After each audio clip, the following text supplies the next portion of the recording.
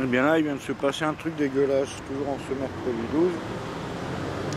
Là, il y a une mémé qui traversait avec sa canne. Une mémé, elle n'est pas merveille, mais la boîte, elle était là. Le vin, il s'arrête là. Elle dit attendez, attendez. L'autre, il dit non. Et il part. Et il y avait le feu rouge à 2 mètres. Le feu rouge, la bonne femme, elle essaie de rattraper le bus avec sa canne. Et il s'est barré quand même, c'est passé au vert. Je trouve ça que c'est pas humain du tout, c'est complètement dégueulasse. Ah, c'est les consignes. Ça va, c'est une mémé avec une canne. Une super mémé, elle doit avoir 50 balles, 50.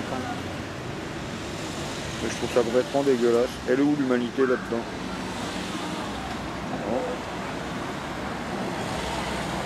Des fois qu'elle braque le bus, on sait jamais. tu sais.